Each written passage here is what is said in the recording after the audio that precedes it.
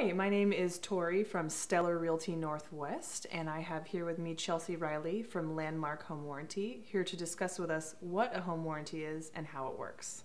Thank you, Tori. I'm sure we're all very curious as to what a home warranty covers. A home warranty isn't truly a warranty on the home itself, it's actually a service contract providing coverage on any of the major systems within the home or any of the appliances within the home as well. So, what parts of the home does a home warranty cover? A home warranty typically will cover any of the major systems within the home. So, those are things like your HVAC system, your air conditioning, your furnace, so on and so forth. The appliances are also covered in a home warranty, and those are things like your dishwasher or your refrigerator or even your washer and dryer. And how exactly does a home warranty work?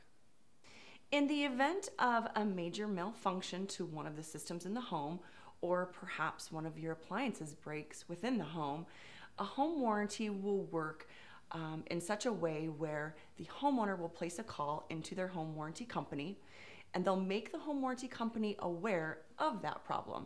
They'll explain exactly what's going on with the system or the appliance when they noticed it, and the home warranty company will send a licensed contractor out to the homeowner to diagnose the system or the appliance to determine whether or not it should be repaired or replaced. What is the cost of a home warranty? The cost of a home warranty will range anywhere between $300 to $600. With Landmark Home Warranty specifically, our warranties range between $350 and $500. When you take into consideration the cost that a homeowner would pay out of pocket to repair one of their appliances or replace one of the major systems within the home, $350 to $500 is an incredible savings.